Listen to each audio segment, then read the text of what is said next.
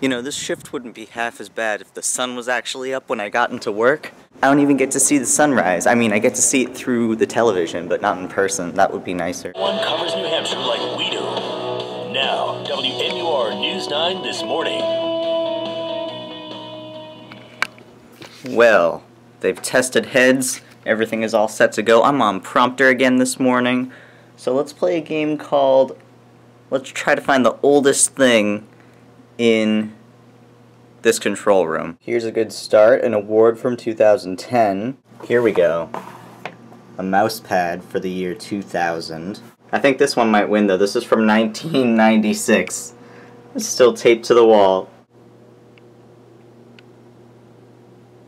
Ah. There's the sun. My message has been sent. I just applied for a job, which is the thing that I wanted to get done today. So bam, another thing done. I'm currently on the UMass Lowell campus again, playing some humans versus zombies.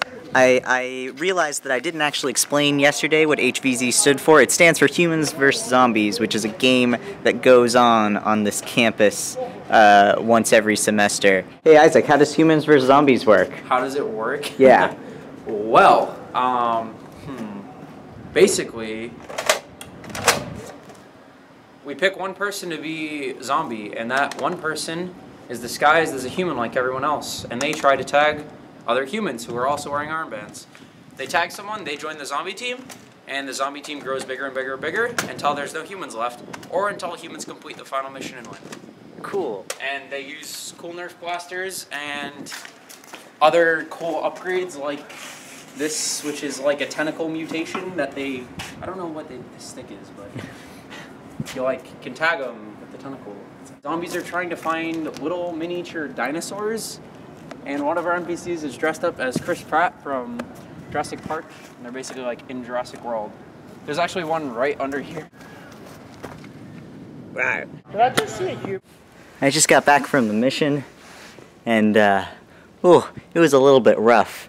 It can be tough to organize these kinds of games. I think everyone still had fun though. Like I had a lot of fun. My friend, the one you saw earlier, he's the guy who's like running the entire game this semester. I think he's being a little hard on himself. The question for today is what is something positive about being trans? And it's totally that I get to make all these freaking cool friends. I was actually talking about this earlier today. Like being queer and having friends that are queer is freaking awesome. Anyway, that's it for this video blog. It is 9.49 p.m. right now. I'm going to try to edit this real quick and get it out to you before midnight. Let's see if I can do it. Bye!